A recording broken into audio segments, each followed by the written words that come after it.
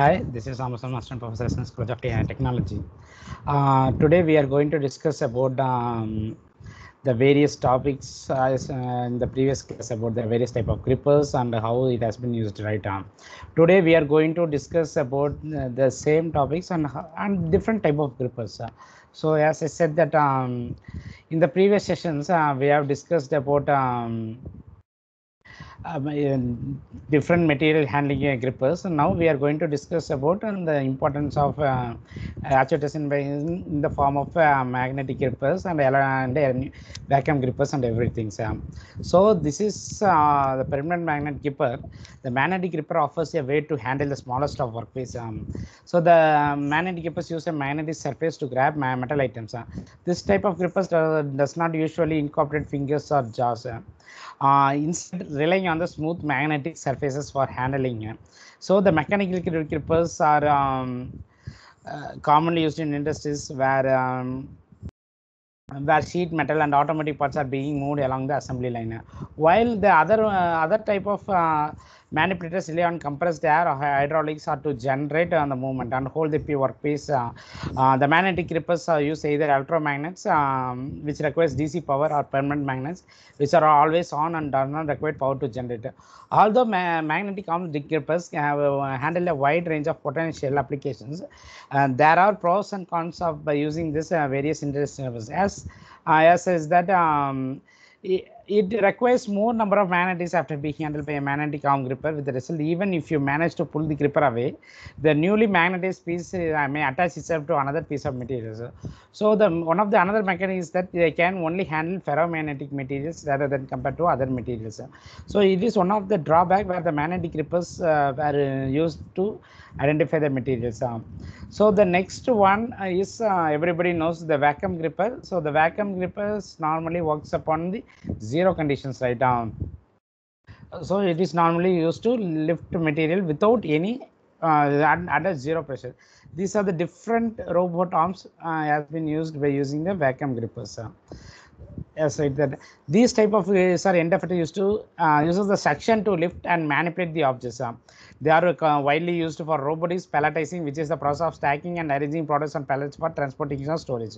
So the vacuum grippers have many advantages over the other type of grippers such as they can handle the variety of objects such as um, boxes display boxes cartoons or some other packed products and uh, sometimes even bags they can lift objects from uh, above without needing to grip them from the sides or below they can distribute the payload evenly across the object surface avoiding the deformation or damage they can be customized to fit different sizes and shapes of object by adjusting the number and also the position of suction cups and the above image shows the different type of suction cups of valves. The cake can save energy and reduces noise by using self-closing valves that can only activate when they needed. Um, the vacuum gripper works by using suction to lift place or into a pallet. Uh, It consists of electromagnetic pump or a very ventricular pump connected to a vacuum head with suction cups or a foam pad. And the vacuum gripper designs and construction even depending upon the application requirement. Uh, some um, grippers have multiple suction cups arranged in array of in, increased gripping capacity and also a flexibility where others vacuum grippers have form, form pad.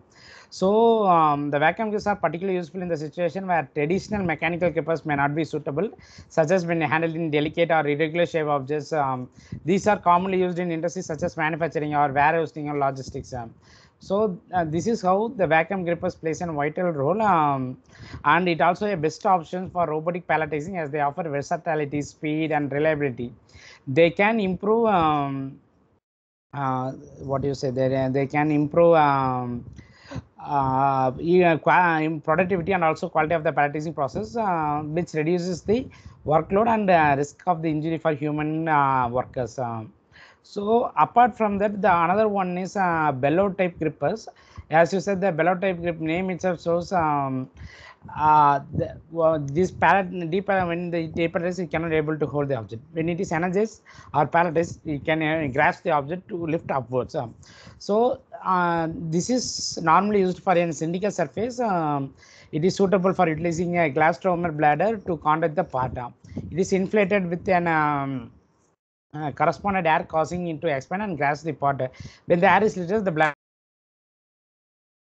the grippers has been used to handle the various materials and depends upon the materials depend upon the characterization the materials has been used so these are the some of the reference we have taken for um, uh, today's class and uh, mostly i have to say that um, the different suction gaps and different material handling process and different condition requirements the different type of material handling uh, grippers are used to obtain the different um, values uh.